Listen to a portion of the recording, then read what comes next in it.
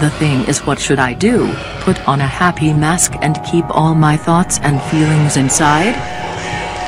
I don't like being fake, many people pretend to be happy when they are hurting, and besides I need to say something, and especially when my life is threatened by the ignorance of others.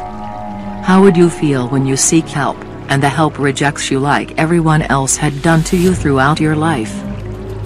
It is a clear indication that my existence is a mistake, and I should not have spawned on this planet. My life would have been far better if I lived on spaceships and other planets, living here is a constant nightmare. How do you enjoy life when every time you want to be happy and work on being happy someone fucks it up? You have not experienced the pain I gone through, yes it could have been worse, but what makes it worse is the continuous rejection, and alienation from society, for just being myself and people who blame this on me, are damn fucking stupid, because they themselves were not born hermaphrodite and then mutilated at birth. But when you trust medical help service, they help, and then they reject you because of being outspoken, and exposing the error in the system, where people don't think but run on automatic in regards to their so-called profession.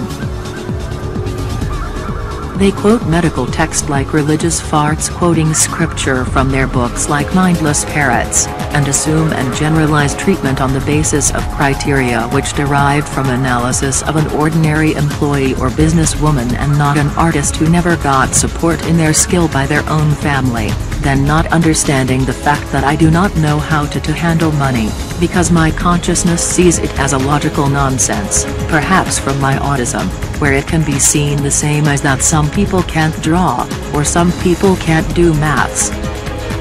The criteria is based on this bullshit as well as the physical attributes and medical conditions. I pass almost all the criteria on physical attributes, that is I am very feminine, more than middle androgynous, I had been living full-time as a female for 13 years, and just because I get rejected from employment because of being flamboyant, extravagant, colorful, and creative naturally, this opposes the criteria, and I feel it's utter bullshit and stupid, because I am not seen as a unique creative nonconformist individual. You would think society would help find you a place to fit in, but they don't, they enforce to reshape you, and then shove you into be a slave working on others' boring and stupid crap rather than a productive individual sharing unique ideas. People on this planet, fail to understand, and believe books to explain every single fucking thing in the universe and this world on this planet, but it can't, it only gives a perception of the author who had been observing the general or what society considers normal. Anyone who is different confuses the fuck out of them, because they run on automatic. This is why I go on about my quote.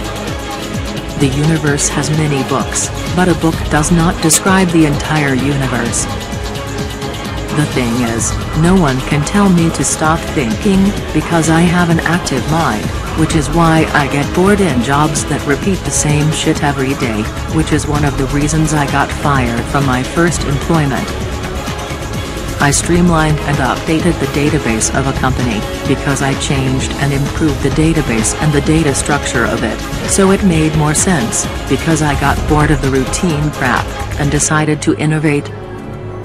The employer did not understand what I had done, and fired me, but my database modifications were saved, six years later, she now uses my modification, without even a thank you. This is the thing that pisses me off. I cannot stop thinking, it I did I would become bored and distressed, and when people give me shit I tend to think on the shit because it distracts me, because it affects my life, well-being and creativity.